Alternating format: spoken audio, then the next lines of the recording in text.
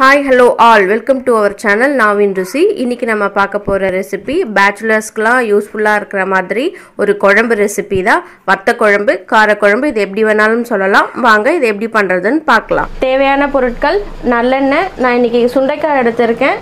கொஞ்சம் உப்பு. நான் வந்து நாலு பேருக்கு பண்ணுறதுக்கு ஒரு சின்ன லெமன் சைஸ் புளி எடுத்திருக்கேன்.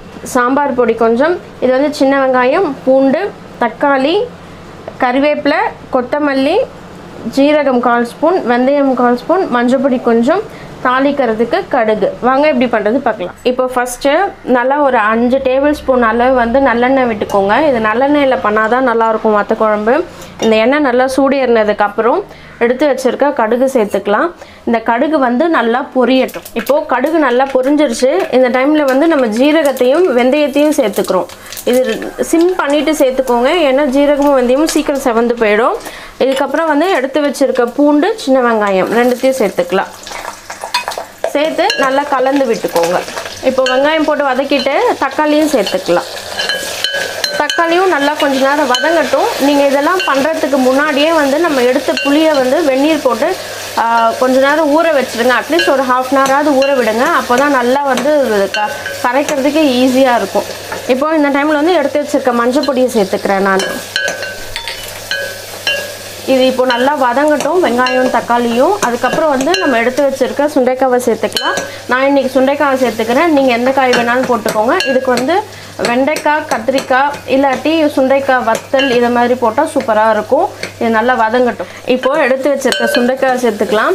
நீங்கள் இதுக்கு முருங்கைக்காய் கூட சேர்த்துக்கலாம். நல்ல ஃப்ளேவர் கொடுக்கும் முருங்கைக்காய் போட்டிங்கனாக்கா இது வந்து இப்போ நல்லா வதங்கட்டும். இது வந்து தண்ணி விட்டு வேக விடணும்லாம் அவசியம் கிடையாது. இது நம்ம கொதிக்கும் போதே வந்து சுண்டைக்காய் நல்லா வெந்துடும். இந்த டைமில் வந்து எடுத்து வச்சுருக்க கருவேப்பிலையை சேர்த்துக்கிறேன் நான். இப்போது இதுக்கு தேவையான அளவு உப்பு போட்டுக்கோங்க. உப்பு கொஞ்சமாக சேர்த்துக்கோங்க. வேணும்னா இன்னும் கொஞ்சம் போட்டுக்கலாம். எடுத்து வச்சுருக்க காரப்பொடியும் போடுங்க. இந்த எண்ணெய் வதங்குறது கூடவே இந்த சாம்பார் பொடியை போடுங்க. அப்போ தான் வந்து சூப்பராக இருக்கும். அது தனி டேஸ்ட் அது எப்பயுமே. போட்டு நல்லா கலந்து விட்டுக்கோங்க. இது நல்லா இது எண்ணெயில் வந்து கொஞ்சம் வதங்கட்டும். அதுக்கப்புறம் வந்து நம்ம புளியை கரைச்சி இதில் சேர்த்துக்கலாம். எண்ணெயில் நல்லா வதங்கிடுச்சு. நான் புளியை வந்து கரைச்சி வச்சுக்கிட்டேன். இதை மாதிரி திக்காக கரைச்சிக்கோங்க. தண்ணியாக கரைக்காதீங்க.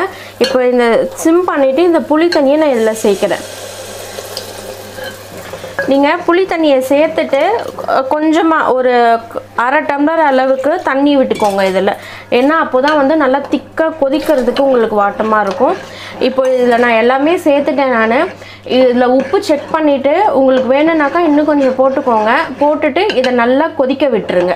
இப்போ பாருங்கள் இது நல்லா கொதிச்சிருச்சு. மேலே எண்ணெய்லாம் எப்படி பிரிஞ்சு வந்திருக்கு பாருங்கள் நான் வந்து புளி தண்ணியெலாம் விட்டு இவ்வளோ இருந்துச்சு. இது எந்த அளவுக்கு கொதிச்சிருக்கு பாருங்கள் இது இப்படி கொதிச்சாதான் நல்லாயிருக்கும் இப்போ லாஸ்ட்டில் வந்து நம்ம கொத்தமல்லியை சேர்த்துக்கலாம். எடுத்து வச்சுருக்க கொத்தமல்லியை சேர்த்து அடுப்பை ஆஃப் பண்ணிக்கலாம். கொத்தமல்லி போட்டு ரொம்ப கொதிக்க விடக்கூடாது. இந்த டிஷ் செய்து பார்த்துட்டு உங்களுக்கு பிடிச்சிருந்ததுன்னா மறக்காமல் என்னோட கமெண்ட் செக்ஷனில் கமெண்ட் பண்ணுங்கள் தேங்க்யூ ஃபார் வாட்சிங் இந்த டிஷ் செஞ்சு பார்த்துட்டு உங்களுக்கு பிடிச்சிருந்துச்சுன்னா மறக்காமல் லைக் பண்ணுங்கள் ஷேர் பண்ணுங்கள் என்னோட சேனலை சப்ஸ்கிரைப் பண்ணுங்கள்